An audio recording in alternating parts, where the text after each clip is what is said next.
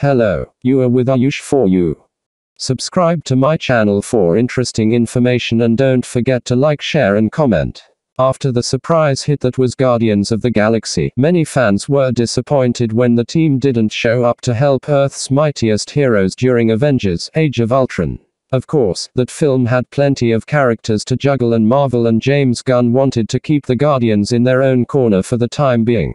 As such, the upcoming Guardians of the Galaxy Volume 2 will be a self contained film, providing each of the characters with their own arc. That said, we recently learned that the movie will have an end credits scene, which seems like the perfect chance to tee things up for next year's Avengers, Infinity War, or the recently confirmed Guardians of the Galaxy 3. We've know for some time that all of the Guardians would be returning for the film, which makes sense given the cosmic scale of the movie and the battle against Thanos.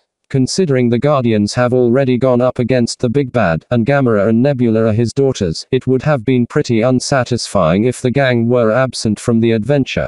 It's still unknown how much the Guardians will factor into the conflict, however, as the movie has an ensemble consisting of so many characters. Complex was able to chat with James Gunn while promoting his film The Belko Experiment and was asked how much the Guardians would factor into Infinity War. He said, You know, listen, I don't think we should overstate things that it is an Avengers movie, but the Guardians are a part of the cosmic universe, they're a part of Thanos' stories, so, they are in there, and they have, not the biggest, but, an integral part to that.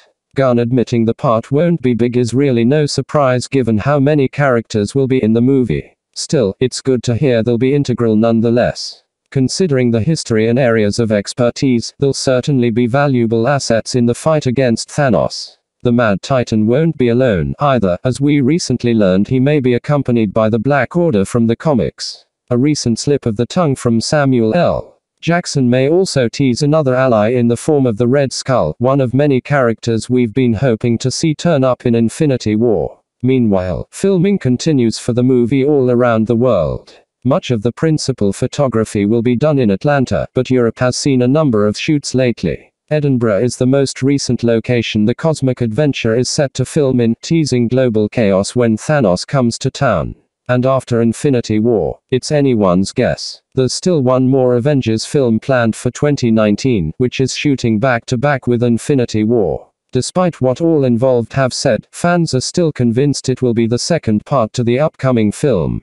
With production in full swing, we'll likely be getting a lot more news soon and we'll probably know the truth before long. Until then, we'll be patiently awaiting an Avengers Infinity War teaser.